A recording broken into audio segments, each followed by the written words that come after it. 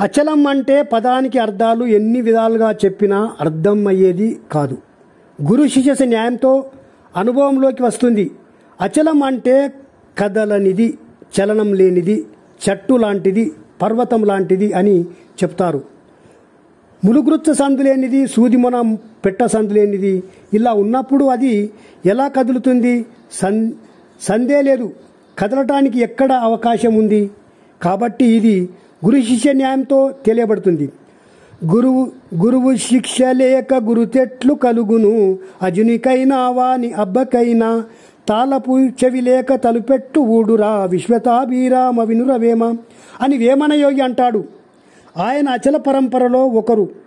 ఇలా తెలియజేస్తూ వెళ్తే గ్రంథ విస్తరణే అన్ని మతాల వాళ్ళు ఒకరు సూర్యుడు దేవుడని ఒకరు ఆత్మ దేవుడని ఒకరు చంద్రుడు దేవుడని ఒకరు చుక్కను దేవుడని ఒకరు గణపతిని దేవుడని ఒకడు రాముడు దేవుడని ఒకడు కృష్ణుడు దేవుడని ఒకరు శక్తి దేవుడని అనేక విధాలుగా చెప్పినారు.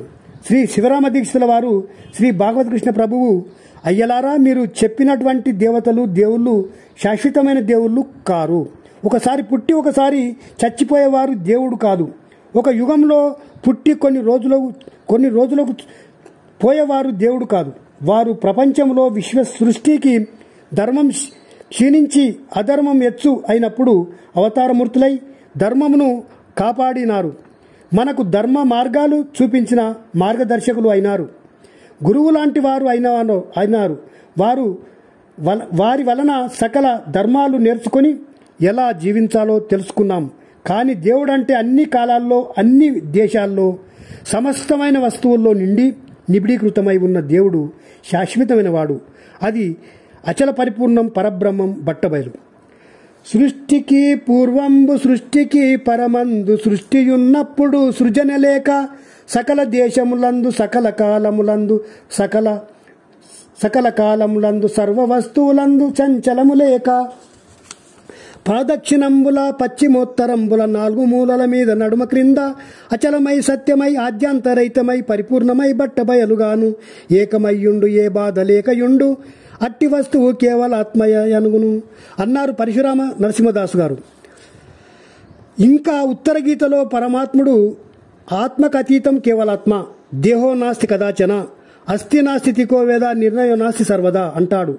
కాబట్టి అచల సిద్ధాంత బోధల బోధలు చాలా అద్భుతమైనవిగా విఘ్నులు గ్రహించారు. ఈ అచల బోధ చేసిన వారిలో దక్షిణామూర్తి మొదలుకొని మహావిష్ణు సూర్యభగవానుడు యాజ్ఞవల్కుడు జనకుడు శుకమహర్షి సాందీపుడు శ్రీకృష్ణ పరమాత్మ ఉద్ధవుడు రుక్మిణి అర్జునుడు ఇలా కలియుగంలో చాలామంది ఈ పరంపరలో ఉన్నారు. పదిహేడవ శతాబ్దంలో శ్రీధరులు శివరామ దీక్షల వారు వచ్చారు.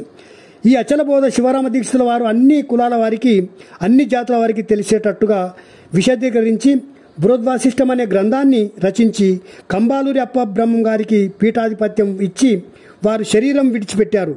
తన తదనంతరం పరంపరగా శ్రీమత్ పరశురామ నరసింహదాసు సీతారామస్వామి వంటి మహనీయులు ఈ సిద్ధాంతం కొనసాగించారు.